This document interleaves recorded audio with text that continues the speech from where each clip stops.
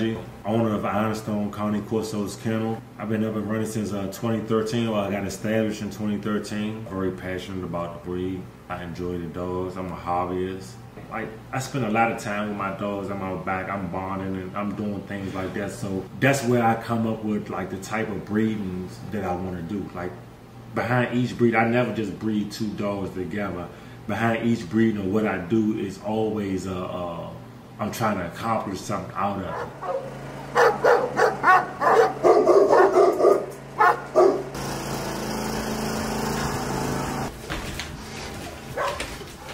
This for the floor to the insulation for the puppies.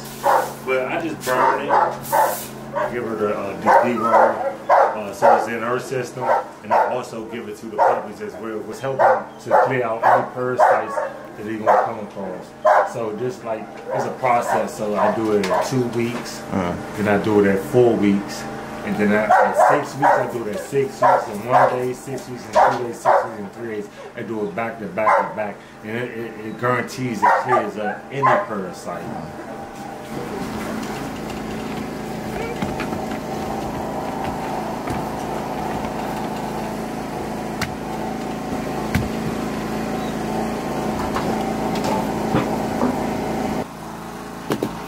I mean, I base my I program off of uh, for that bloodline.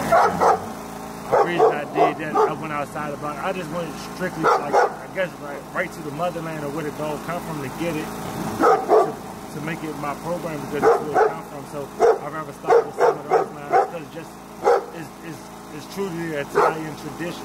You know what I'm saying? It, it was considered a, it's a catch dog, a farm dog.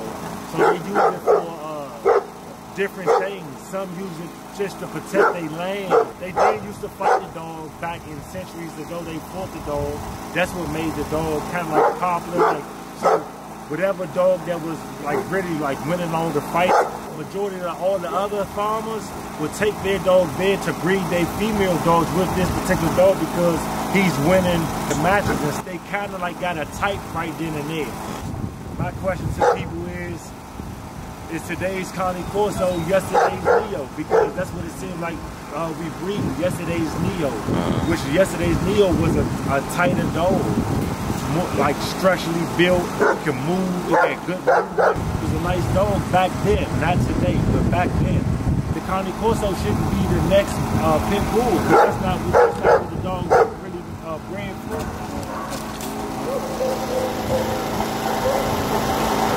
I import all my stuff in because I wanted to be different than the rest. I wanted to be different, have different lines of dogs because uh, the American dogs, everybody was breeding off the same lines. So I just went outside the box. Me and my partner, which is tough, you know, we got a kind of like the same program. Like, you know, when you in doing these type of things, like uh, with breeding, like it's also good to go outside of what you're doing and talk to others then that's if they uh, uh, you know talk to you. Sometimes you got to learn and build from others. You know what I'm saying? So uh, I got a lot of few good brothers and sisters that I talk to on a daily basis about those and, and, and get that collective. Something I may don't understand or may, I, I, haven't came across. So I may reach out and ask someone else and get their opinion and see what they think or if, they can help me out with it. And I take it and I use it. If it, if it works for me, I'm gonna continue to use it because it helped me in a uh, then so it's gonna help me in the long run as well. So I, you know, I keep that in my mental. We get together, we have board meetings and meetings, we get together, we vote, okay, let's have the cookout on this date. Uh, we all donate out our own pockets. We don't really ask. Like some people do ask, like there's a lot of genuine people that like,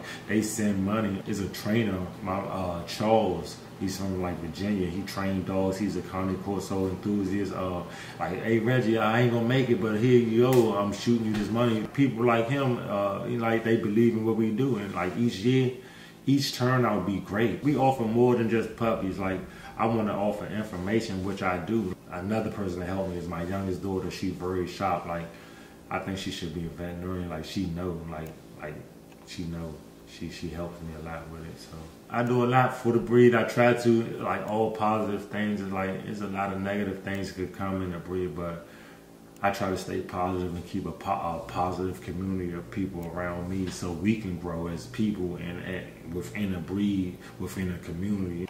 how has your experience been with the dog within itself and just dealing with me in general? Uh, everything's been just fine. I mean, anything I needed to ask or you recommended for the dog, you have, you have been very knowledgeable at giving us information on it. As far as your dog that you got from me, um, how has he been for you and your family?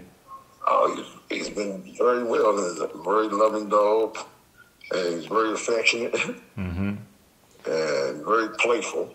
Mm-hmm. With people in the house. Yeah, with people in the house and the but yeah. But so, if he doesn't know you, he, he will he will shoot them teeth. So he, he's a, he's a protector. So he's very protective over you guys, and everybody in the house. Yes. Right. He does his job. I love your business. I love how you run it.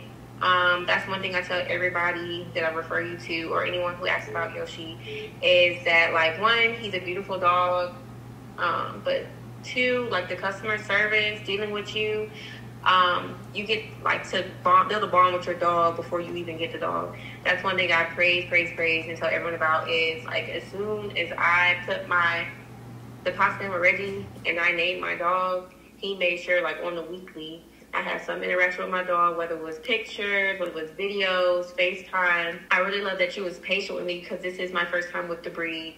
And I love that you would sit there no matter, because I, I remember one point in time, I think we was on the phone for like well over an hour and you sit and answer all my questions having to do with the breed, um, the things that I would need, training.